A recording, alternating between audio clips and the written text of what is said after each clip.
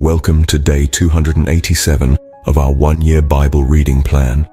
Today we'll read Mark chapters 4 through 5. Before you begin, remember that it helps to establish a daily reading time. Begin with a short prayer, asking the Holy Spirit for wisdom and understanding. Always read for understanding and to hear from God, not just to finish today's reading. Please like, subscribe, and share this video to bless someone else. Now let's begin. Mark chapter 4, verse 1. Again Jesus began to teach by the lake. The crowd that gathered around him was so large that he got into a boat and sat in it, out on the lake, while all the people were along the shore at the water's edge. He taught them many things by parables, and in his teaching said, Listen, a farmer went out to sow his seed. As he was scattering the seed, some fell along the path, and the birds came and ate it up. Some fell on rocky places where it did not have much soil. It sprang up quickly because the soil was shallow. But when the sun came up, the plants were scorched, and they withered because they had no root. Other seed fell among thorns, which grew up and choked the plants, so that they did not bear grain. Still other seed fell on good soil. It came up, grew, and produced a crop, some multiplying thirty, some sixty, some a hundred times.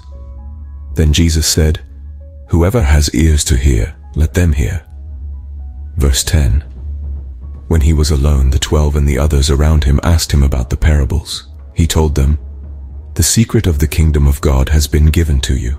But to those on the outside, everything is said in parables, so that they may be ever seeing but never perceiving, and ever hearing but never understanding. Otherwise they might turn and be forgiven.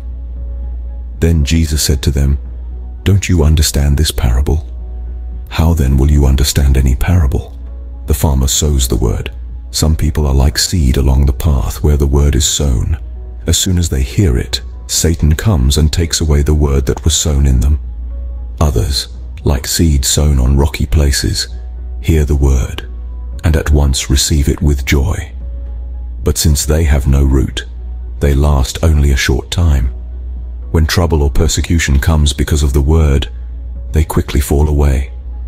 Still others, like seed sown among thorns, hear the word. But the worries of this life, the deceitfulness of wealth and the desires for other things come in and choke the word, making it unfruitful. Verse 20. Others, like seed sown on good soil, hear the word, accept it, and produce a crop, some thirty, some sixty, some a hundred times what was sown. He said to them, Do you bring in a lamp to put it under a bowl or a bed? Instead, don't you put it on its stand? For whatever is hidden is meant to be disclosed, and whatever is concealed is meant to be brought out into the open. If anyone has ears to hear, let them hear. Consider carefully what you hear, he continued. With the measure you use, it will be measured to you, and even more. Whoever has will be given more. Whoever does not have, even what they have, will be taken from them. He also said, This is what the kingdom of God is like. A man scatters seed on the ground. Night and day, whether he sleeps or gets up, the seed sprouts and grows, though he does not know how. All by itself the soil produces grain, first the stalk, then the head, then the full kernel in the head. As soon as the grain is ripe, he puts the sickle to it because the harvest has come. Verse 30. Again he said, What shall we say the kingdom of God is like? Or what parable shall we use to describe it? It is like a mustard seed, which is the smallest of all seeds on earth. Yet when planted, it grows and becomes the largest of all garden plants, with such big branches that the birds can perch in its shade. With many similar parables, Jesus spoke the word to them, as much as they could understand. He did not say anything to them without using a parable. But when he was alone with his own disciples, he explained everything. That day when evening came, he said to his disciples, Let us go over to the other side. Leaving the crowd behind, they took him along just as he was in the boat. There were also other boats with him. A furious squall came up, and the waves broke over the boat, so that it was nearly swamped.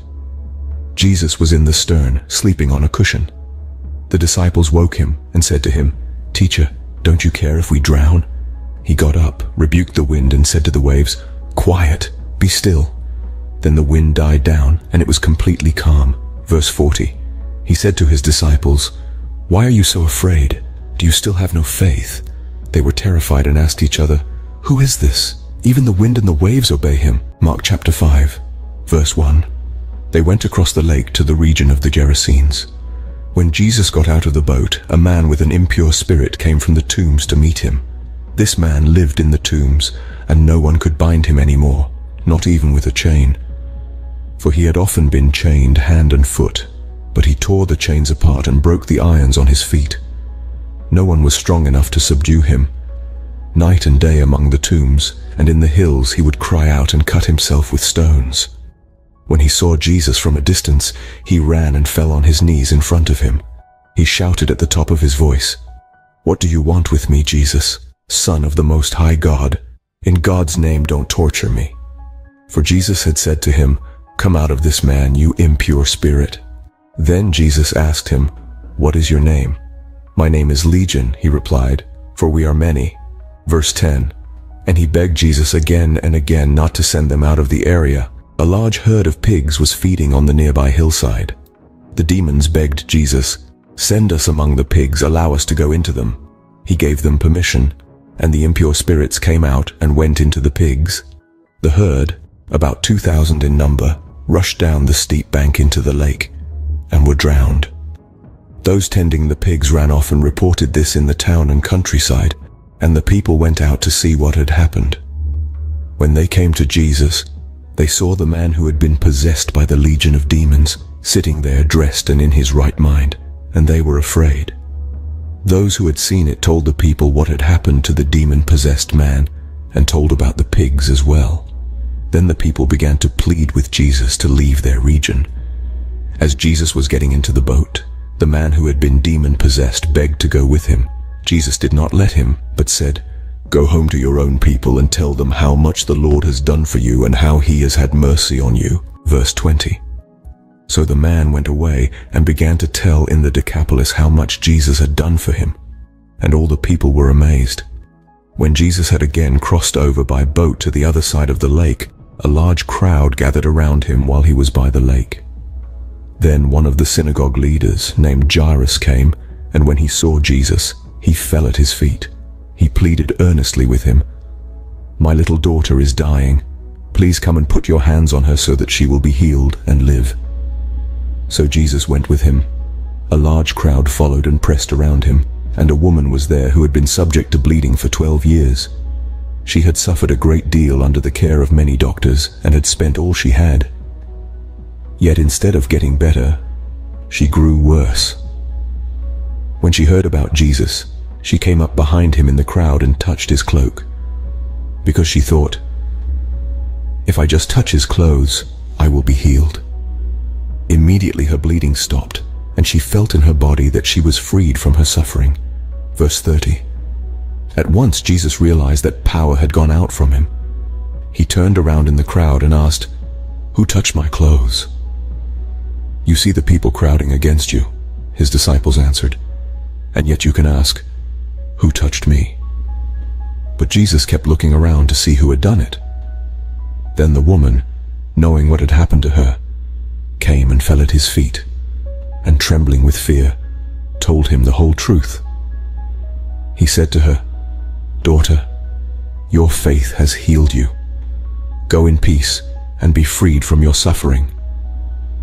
While Jesus was still speaking, some people came from the house of Jairus, the synagogue leader.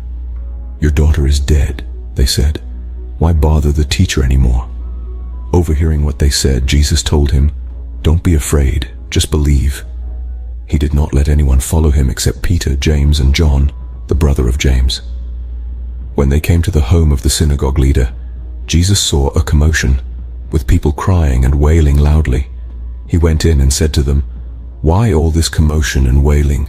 The child is not dead, but asleep. Verse 40, But they laughed at him.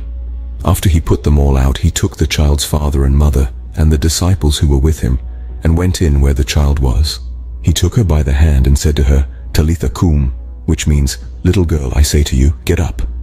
Immediately the girl stood up and began to walk around. She was 12 years old. At this they were completely astonished. He gave strict orders not to let anyone know about this, and told them to give her something to eat. This concludes Mark chapters 4 through 5 for day 287. We hope you're enjoying these daily videos. Remember to check the description box for links and resources. Thank you for watching. Please like, share, and subscribe. Your support helps spread God's word to reach more people on YouTube. We'll see you in the next video for our day 288 reading.